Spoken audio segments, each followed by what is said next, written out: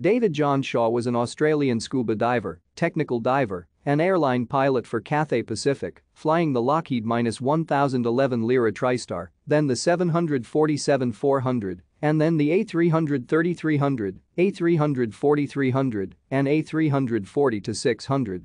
He flew for Cathay Pacific from 1989 until his death in 2005. Before flying for Cathay Pacific he flew for Missionary Aviation Fellowship in Papua New Guinea and Tanzania.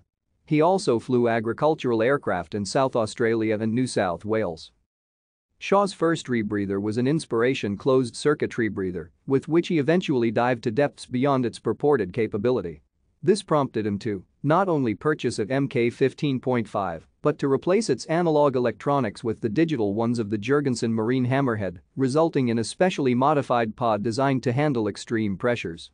The Mk15.5 was his rebreather of choice for dives deeper than 150 meters.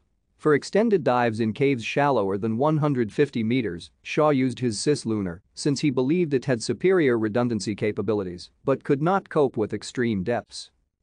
On 28 October 2004, Shaw broke the following records at Bushman's Hole, South Africa. He used a Mk15.5 with Juergensen Marine Hammerhead electronics and the following gas mixtures, Trimix 480s, 1070s, 1555s, 1740s, 2625s, air, NITROX50, 100% oxygen. Thank you for watching. Like and subscribe if you would like to view more of our videos. Have a nice day.